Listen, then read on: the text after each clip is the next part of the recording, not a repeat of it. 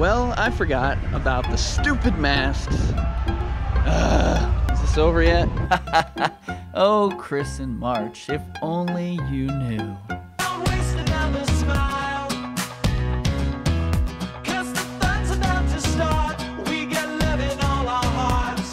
Today, it's about 60 right now. It's gonna be 70 degrees and sunny and perfect weather. We're headed about an hour outside Front Royal, Winchester, that area.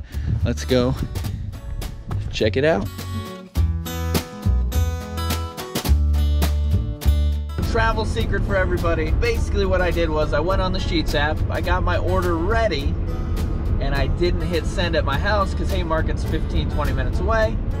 Instead, I waited till I was like three exits from Haymarket. I hit send. It's prepaid. My food's gonna be ready when I get there.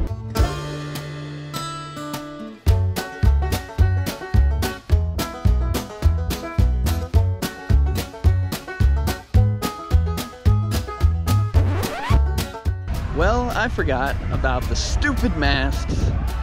Ugh, is this over yet? I bet like half the people in Sheetz don't have a mask on.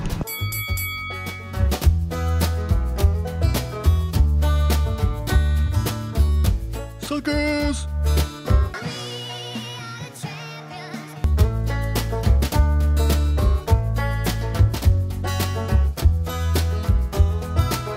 How about that? Food ready as soon as I walk in. Perfect timing. Sometimes you gotta do that code red breakfast. Got my schmagel on. Schmakin' schmagel. Also picked up a quesadilla and some tacos.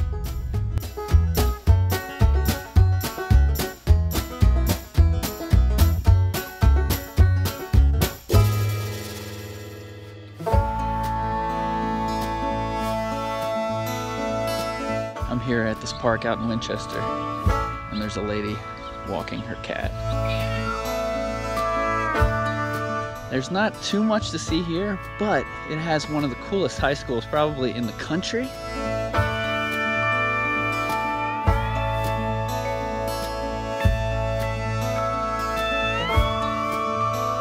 This is the Triangle Diner in Winchester, and the reason it's well known is because one of Winchester's most famous residents was country star Patsy Cline, who you might know from this song. Crazy.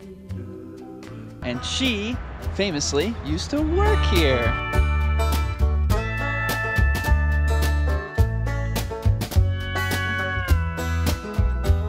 This is the downtown area of Winchester. It's actually pretty awesome. There's a bunch of restaurants and bars and nightlife, and I definitely recommend staying over at the George Washington Hotel right there on the corner. It's usually like 100 bucks a night, and then you can walk over here and just hang out all night long. Thanks for watching this lost episode of DMV Adventures. Be sure to subscribe on YouTube, and I look forward to seeing you on my next DMV adventure.